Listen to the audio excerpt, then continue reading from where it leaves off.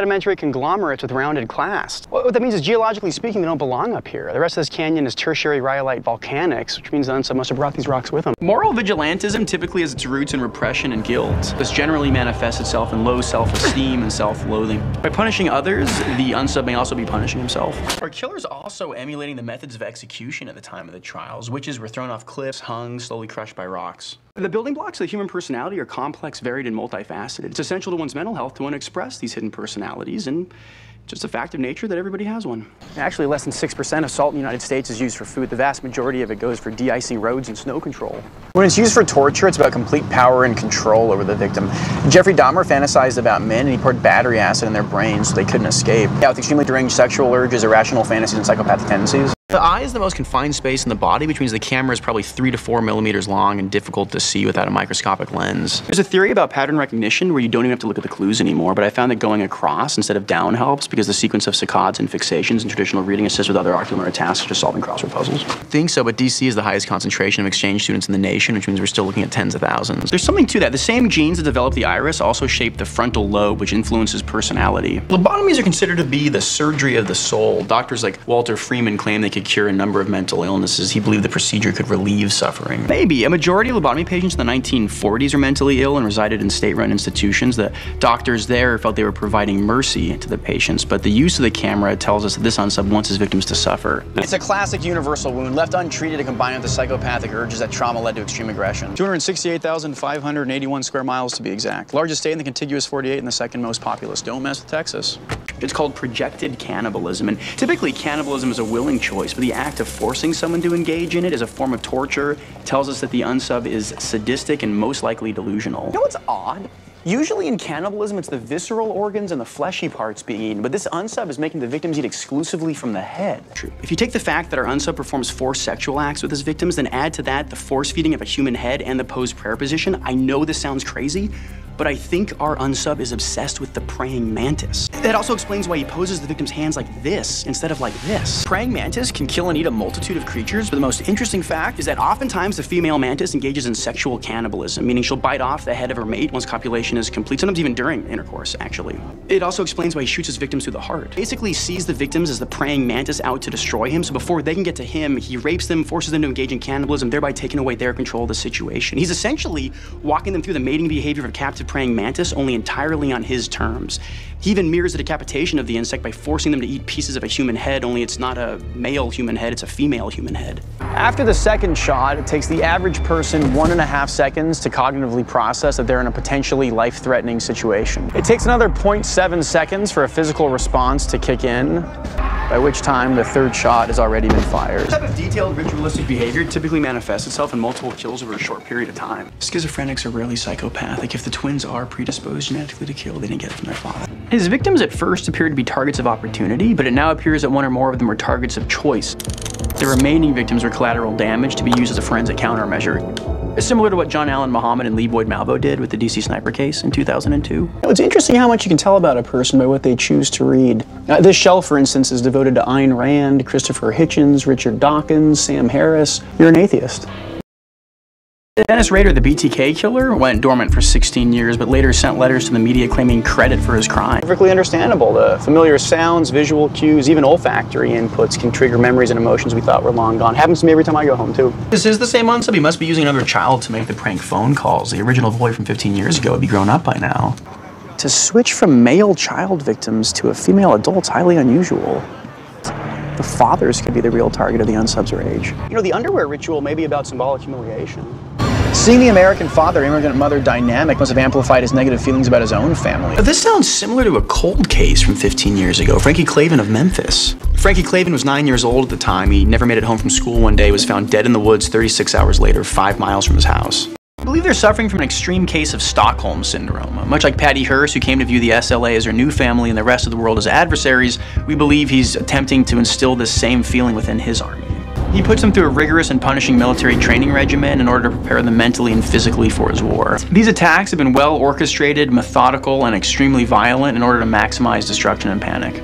There's something known as the magical age between 9 and 12 when a child's psyche is more malleable. That could be why the unsub changed its victimology. Uh, like the child soldiers being recruited by the rebels in Sudan, they lacked the physical and emotional maturity to resist their captors.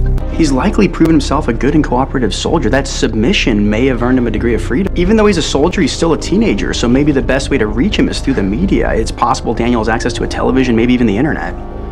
No, most serial numbers have at least nine digits. He keeps repeating the same five, which means it has some sort of special meaning to the unsub. Maybe it's a military code of some sort? Chicago has over 13,000 police officers. That's roughly 60 per square mile. There were two precincts within a four block radius of the diner. My guess is it was only a matter of time before a cop walked in. Isolation coupled with homicidal ideation would have made him even more reclusive. If the Walter trophies, he could be seeking recognition for his work. Could be recognizing in his victims a behavioral trait consistent with the object of his rage that triggers him to kill. Yeah, Chicago has one of the largest gang populations with over 100,000 active members. Last year, 61% of all homicides were found to be gang related. Geographically speaking, none of the victims lived near one another, but they were all killed downtown, which is where the unsub likes to operate. His area of control, while relatively small, includes a number of residential and commercial buildings.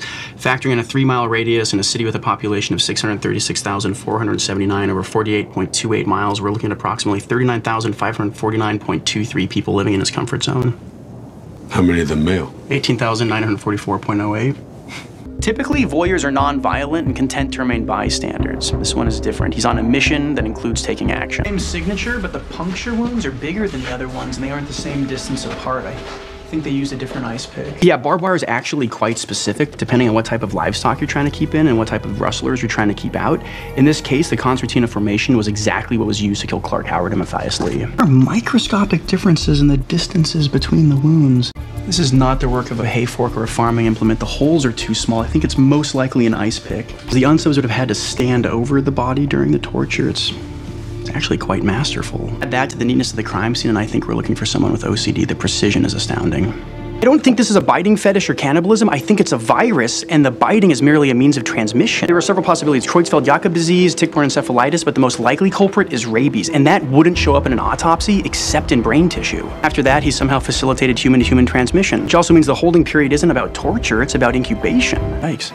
We need to have the ME test for rabies vectors in the brain samples. Rabies has been around since the beginning of documented history. It has the highest case to mortality rate in existence and is arguably the deadliest disease known to man. There is is, but the post-exposure prophylaxis is only effective if administered within 24 hours of infection. Once the symptoms appear, the prognosis is death. He may have found a way to shorten the incubation period. Rabies attacks the nervous system. It, it travels a few millimeters a day until it reaches the brain, but if you were to infect the area around the head or the neck, the distance would be shortened. He may be some sort of symphorophiliac. A rabies death is apparently quite the spectacle. There are convulsions, spasms, then the madness sets in, along with uncontrollable salivation, which accounts for the foaming at the mouth we all associate with the disease. One of the cruelest ironies of all is the extreme dehydration caused by hydrophobia. Victims have a visceral fear response to liquid of any sort. Add to that confusion, hallucinations, and you can probably imagine the horror. The acquisition of the virus may have been the trigger itself. It's worth mentioning the only known rabies survival story that didn't involve the vaccine happened right here in Milwaukee. A 15 year old girl survived the virus and doctors put her in a medically induced coma. Actually, bats make up 12% of Wisconsin's mammalian population, and they're responsible for the majority of the infections in the US. Could be a deity symbol. In a Japanese book from the year 712 called Kojiki, the scarecrow is seen as a symbol of someone who knew everything in the world. The female victims had signs of sexual assault while the male did not. That means the rapes are situational. He also knew where to stab the victims without killing them right away. Two out of 10 isn't a countdown at all. I think he might be referring to a hobo code. Exactly, it means two eyes on 10 fingers because thieves are present. The code was devised during the Great Depression by hobos to help each other out. None of the victims had a documented address, so it's likely they were homeless. They may have known each other from the street or from a shelter. He will attempt to surround himself with people who are subservient, either sycophantic followers or people who are trapped by financial constraints. This isn't drinking water, it's contaminated with ground pollutants like stormwater runoff. My guess would be the flood control tunnels beneath the city.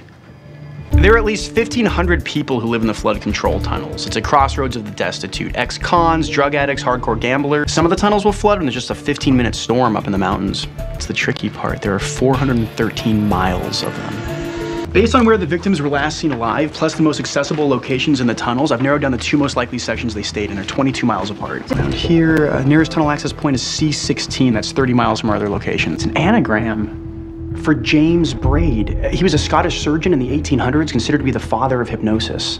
Neurolinguistic programming, I use sensory predicates and keywords to tap into his unconscious mind. There are two different exits into the desert. One's on the north end and the other's on the west.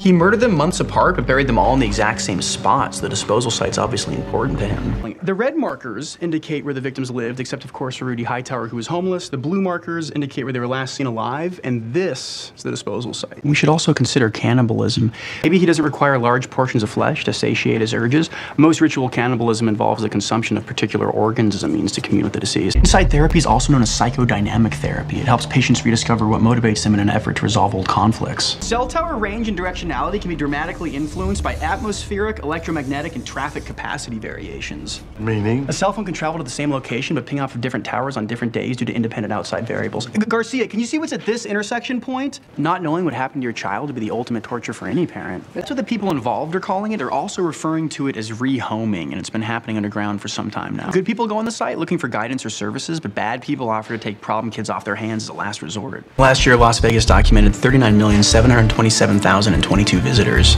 There are 93 hotels in Las Vegas, 260 motels and inns, 1,510 bars, and 2,996 restaurants, not to mention nearby Summerlin, which is growing in popularity. Odd given the fact that 80% of crimes against women involve some sort of sexual component. Like Karla Homolka and Paul Bernardo, who raped, tortured, and killed at least 19 people, this couple's homicidal tendencies most likely surfaced once they met. Learning the nature of how that differs from their team dynamic will be the key to driving a wedge between their partnership. Maybe she lasted the longest. If his ritual dictates a specific timeline, any new aspect would fall later in his routine. But his real nature would be revealed in the safety of isolation. Uh, this is the type of man who would anonymously express himself online, uh, raging against how these women are filled with disease and filth, how they deserve what's coming to them, uh, probably to cover for the rejection of a woman or spouse who's wronged him. A wound collector is someone who uses a lifetime of slights, grievances, and wrongs as justification for violence. Examples can be as large scale as Hitler scapegoating the Jews for the Holocaust. You know, the symbolism really runs the gamut. Pigs can stand for anything from greed and laziness to celebration and good luck, not to mention the derogatory nickname for cops. Like Los Angeles cop killer Christopher Dorner, injustice collectors believe they've been dealt a lifetime of unfairness and believe that nobody treats them with the respect they deserve. Guys, I did a geographic profile of the victims, and it turns out they all lived or work in the same 2.65 square mile radius in the north part of the city. These pieces of twine are all different lengths. I think it's by design. Uh, starting with the first victim, the lengths are 25, 15, 12, and 19 inches. Yeah, so what? If you convert inches to centimeters, you're left with 64, 38, 31, and 48, the exact ages of all four victims. In Greek mythology, a person's destiny was in the hands of the three fates. Uh, one to spin the thread of life, another to measure the thread, and finally Atropos, the one who cut the thread with shears at the moment of death. A conflict in MO. Uh, the cutting and restraints points to sexual sadism, but the gunshot wound ends the torture too quickly for a sadist. By employing the same principles using speed reading, I minimize subvocalization of the images and reduce cognitive load. Don't forget to subscribe, follow, like and comments for updates.